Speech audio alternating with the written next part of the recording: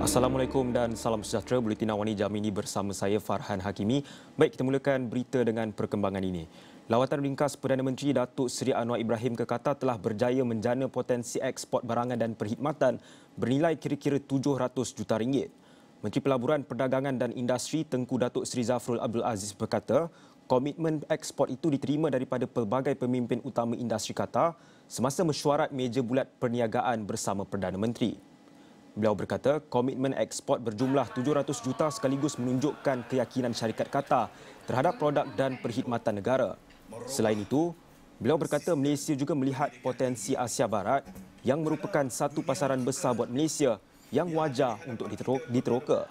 Tengku Zafrul berkata demikian kepada pemberita selepas majlis jamuan makan malam Perdana Menteri bersama diaspora Malaysia pada Isnin. Majlis makan malam itu yang dihoskan oleh Perdana Menteri dihadiri kira-kira 500 rakyat Malaysia. Uh, Alhamdulillah uh, kita mendapat komitmen untuk uh, negara ini menerima ekspor kita ya.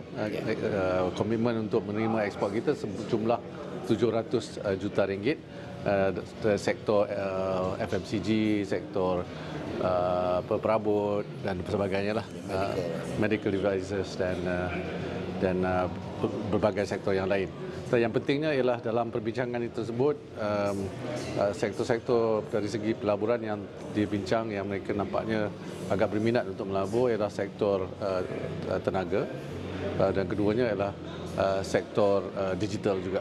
Uh, dan pada masa yang sama kita juga berjumpa dengan beberapa syarikat Malaysia di sini uh, yang uh, adalah uh, di antara pelabur yang besar di negara uh, Qatar juga terutama dalam bidang uh, construction.